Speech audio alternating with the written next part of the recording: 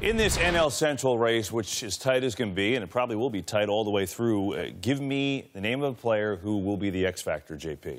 Joe Maddon was wearing his shirt a moment ago, the Hamels Foundation. Ah. Cole Hamels coming back off the uh-huh. injured list tomorrow. Long awaited uh, return for Cole. And we think about what the Cubs have done, or maybe what others in the division did not do, Nick. The Brewers did not get an ace at the deadline to counter what Cole Hamels can do, what a healthy Hamels can do.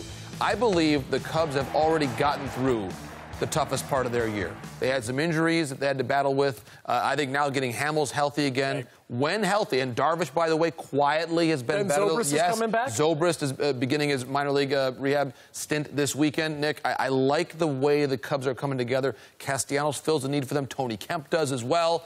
A lot of momentum there, and it starts with the man on the mound tomorrow. Well, bringing over Castellanos, he mashes against left-handers, and that's who the Cubs usually struggle with. Who's your X factor? Give me one. Well, I think I, I got to go a little on the offensive side of things for sure, and I think it's going to be Paul Goldschmidt with the St. Oh, Louis Cardinals okay. right now. And the only reason why I say this is that man was brought over there to carry a lineup right? He has been absolutely in fuego as of late, and so have the Cardinals, right? 27 stakes in his last 26 games. That's doing something. That's the Paul Goldschmidt we all know and love. Gotten off to a little bit of a rough start this year. Obviously, a little change of scenery is going to do that to you, but I'm telling you what, the only reason why I say that is that this guy has the ability to carry a team with his bat, almost like Bryce Harper with the Nationals. Mm. I'm telling you, if Goldie continues to keep doing what they're doing right now, the Cardinals are going to see themselves in the playoffs. One other note on the Cubs are 37 and 18 at home. They are 21 and 33 on the road. They like Wrigley. They don't like the road. That's their uh, that's their mo this year. It's been a big difference for them.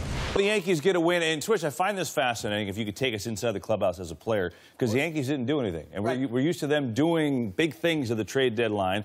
Well, obviously, it hasn't affected them. They come out and win a big game tonight. But how? What is their mindset right now, knowing, oh man, we didn't get any help, so it's on us? Totally, and I, and I can only go from just what I've seen in the past, and obviously the quotes that have come out in the paper. Now, Brett Gardner just got reinstated from the 10-day IL, which was awesome because at this point in time, you need your leaders to step up. And he said that we know we have the team we want moving forward. They don't need anybody, right? They can piecemeal a rotation together, especially when they get into the playoffs. And Brett Gardner said in his quotes, the one thing we're trying to do, win the division, game hold gain home field advantage because KB, at the end of the day, JP as well, if the New York Yankees have home field advantage, they always have a chance to win. It changes things, certainly, if they get that. And I think the other thing that could change things, we've been talking so much, okay, they didn't get a pitcher, they didn't get a pitcher, they didn't get a pitcher.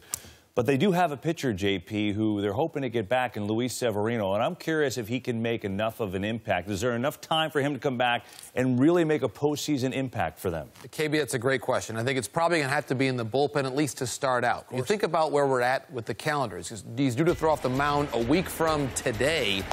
It's going to take some time. It's been the lat and the shoulder, as you see it there, that he's missed the entire season, effectively. Uh, he, he was signed to be their ace with the extension in spring training but he can't be that right now. That that's gone. You, you, can't worry about having to be the game one starter right now, Nick, for this team. It's all about giving you innings, maybe bulk, maybe he comes in the middle of the game. You made a great point earlier uh, about maybe G, maybe Green starts a game and then Severino comes in there. That's the kind of role. Just because I think you look at the, the, the counter right now, KB, he's not going to be able to get fully stretched out. So I think just having him somewhere on the active roster, Nick, during the month of September. Yeah, kind of, it can be kind of a whatever guy, kind of whatever you need him to do, right? you need him to come in the second inning, he's ready. You need to come in, throw two innings, you can do that. Look at Eovaldi last year yes. and the promise and, and, and the amazing postseason he had last year. Obviously, Sevy has the exact same opportunity as well. It's kind of like you you switch, like whatever you need to do. Yeah, whatever you need me to do. We need you to be on whip around, you're here. We sure. need you to go on column, yeah, if you there. need me to like, you know, clean the stage off, I got you. Break down Michigan, Ohio State. That's we can, right. do, that. we can do that too. We can do that all day, bro. He can do it all. Really good.